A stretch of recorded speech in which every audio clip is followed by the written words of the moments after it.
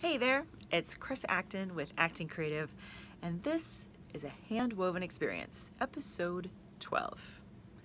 Up to this point, we've been talking a lot about the weaving process, and all the details that go with. So I thought today we would chat about the people, weavers. Matter of fact, I've compiled a list for you. The five ways to recognize a weaver. Are you ready? Here we go.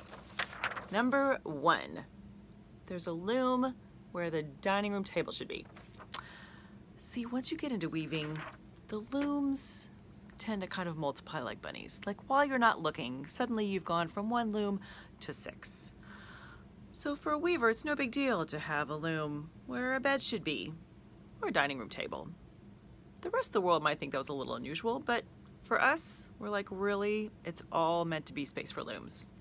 Number two, they're creative and methodical.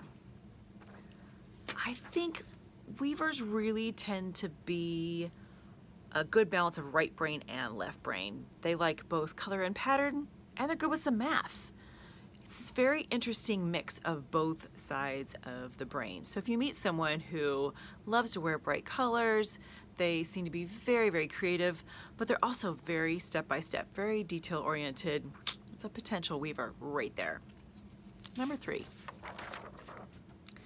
they pet all the fabrics.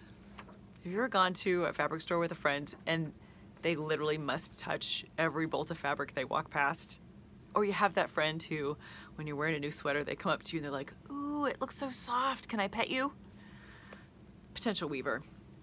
See, weavers are really tactile people. They get a lot of information from what they feel with their fingers. It tells them a lot about the fabric um, that they're working with or uh, what they want to work on. So, number four. I like to be all natural. I find weavers to be a very straightforward bunch of people. They call them like they see them. What you see is what you get they're very much into um, how things are made, growing things, all that kind of good stuff. And they don't always feel the need to impress you with makeup or perfectly dyed hair, or some of those kind of things. They're good people. Number five. Oh, can you see that? They sport hand woven goodies as often as possible. Weaving, it's not a quick process. So once you finish something, so proud of it. Weavers are wearing it. They're wearing the handbag, they're wearing the scarf, they're wearing the wrap, all of that kind of stuff.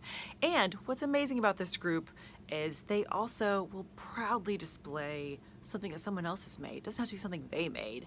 It's any, any woven item that they've picked up from friends, family, fellow weavers, whatever it is. They're proud to show their work. So that's my list for you. Five ways you can recognize a weaver. And if you think, hmm, all those apply to a friend of mine, she's not a weaver yet. Could be. That would be amazing. It's a small but mighty club and everyone is welcome. So, if you got a little something out of this, you've enjoyed this video, please like, comment, or share. I'd love to hear from you. And if you want to be the first to know when new videos come out, go ahead and hit subscribe. In the meantime, have a great week and happy weaving.